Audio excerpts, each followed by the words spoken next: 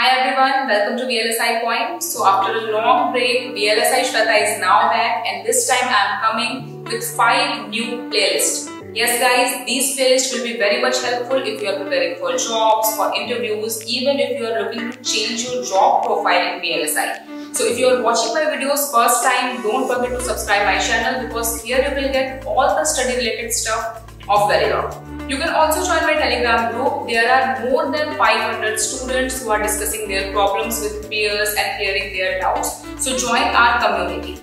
Without any delay, let's get started today's video.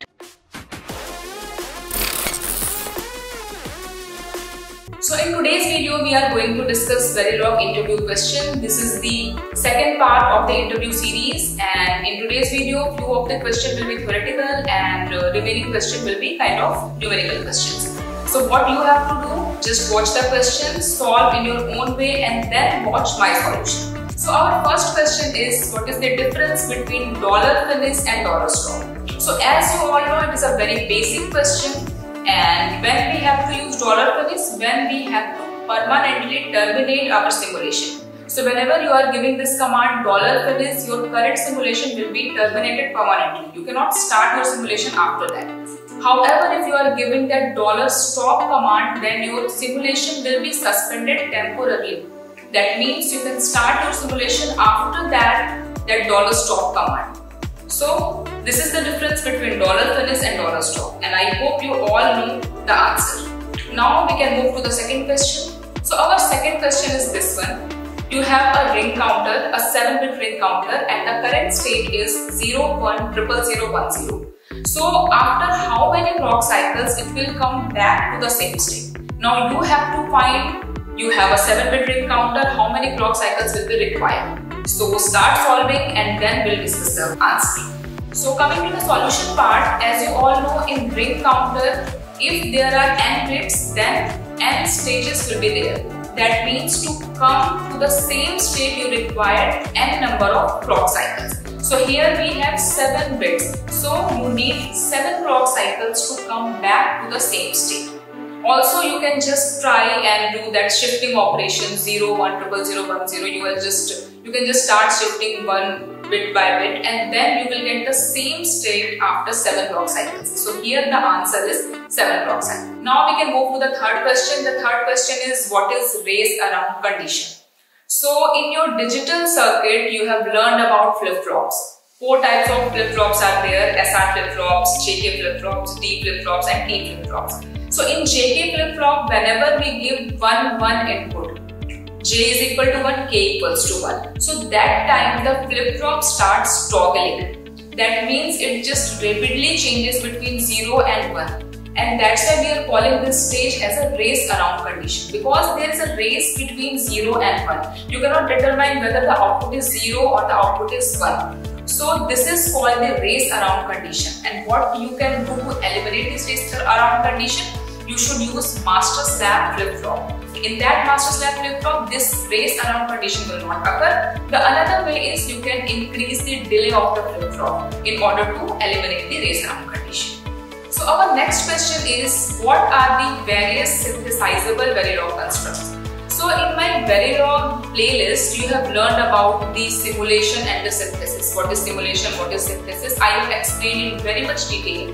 So while performing the synthesis operation, there are few constructs which is not synthesizable. So suppose you are you have written a code and then you want to perform the synthesis operation. But if there are some constructs which are not synthesizable, then your entire code will not perform the synthesis operation. So what you have to do if you want to perform the synthesis operation, use only those synthesizable constructs. So we have various synthesizable constructs so on the screen you can see we have various data types like wired, wired or wired and these few data types are synthesizable in nature. Then we have loops that if else, for loop, while, primitives like XOR, XNOR and OR, NAND, NOR.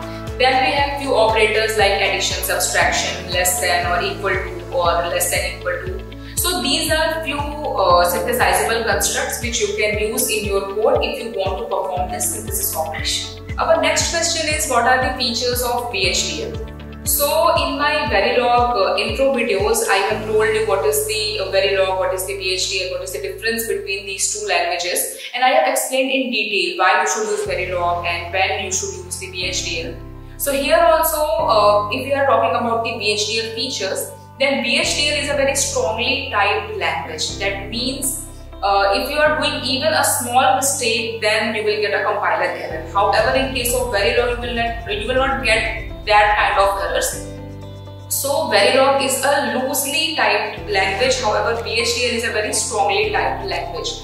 Verilog is very much similar to the C language, however that VHDL is similar to the ADA and Pascal language. In Verilog you have simple data types, in VHDL you have complex data types. VHDL is independent of technology, it is very efficient, less time consuming, it has more readability. So these are few features of VHDL language.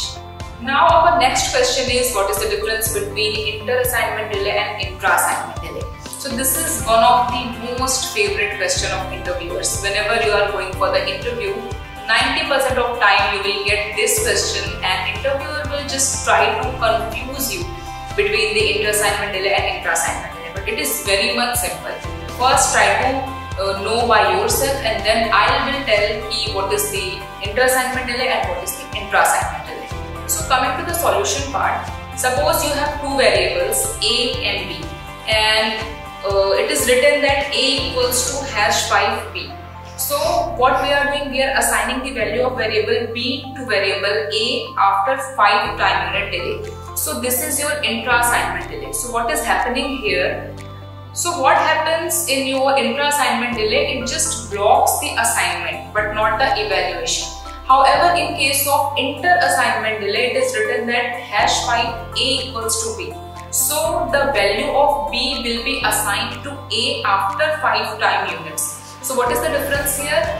After 5 time units, whatever be the value of B variable, that will be assigned to A. So, this inter-assignment delay blocks both the evaluation and the assignment. So, this is the major difference. Whenever your interviewer asks what is the difference between the inter-assignment delay and the intra-assignment delay, so you have to tell the inter-assignment delay will block both the assignment and the evaluation. However, your intra-assignment delay blocks the assignment only but not the evaluation. This is the major difference. Now coming to the second question, how many 2 cross 1 multiplexers are required to make 16 cross 1 multiplexers? This is a very simple question but there is a smart trick to solve these kind of questions. First solve yourself and then we'll tell you that smart trick. So coming to the solution part, since you have to design a 16 cross 1 multiplexer using 2 cross 1 multiplexers. So uh, one way is you can draw the entire circuit, ki how many 2 cross 1 multiplexers are required to design that 16 cross 1. So the answer is 15. Whenever you will just draw the entire circuit, you will get 15 multiplexer. But that is not the correct way to solve this question. What if I'll tell you ki how many 2 cross 1 multiplexers are required to make 256 cross 1 mux? That time you will not be able to draw the entire circuit. So the correct way to solve these kind of question will be, you have to divide that 16 by 2 plus the answer would be 8. So 8 by 2 plus 4 divided by 2 plus 2 divided by 2. So your answer would be 8 plus 4 plus 2 plus 1 that is 15 multiplexers are required and this is the correct way to solve these kind of questions. You can apply the same formula for 256 cross 1 multiplexer and if you have to design with 2 cross 1 multiplexer. So this is the correct way and you can solve this question very fast if you are using this technique. Coming to the 8th question, you have to write a Verilog code for 4 cross 1 multiplexer. Again, it's a very basic question. I have told you multiple times how you can write a multiplexer code. Even I told you the different ways to write the multiplexer code. So first try to write by your own and then I will tell you. So whenever the input is 00, S0, S1 then the output is A. For 0, 1 it is B. For 1, 0 the output is C and for 1, 1 the output is D. So it's a very simple code and you can write this code in multiple ways. Now our next question is you have to write a Verilog code for 4-bit ripple counter. So first you need to know the concept of ripple counter. What is ripple counter? How it start its counting when it will stop. So you need to know all the things to solve such question. First try to solve and then we'll tell you the solution.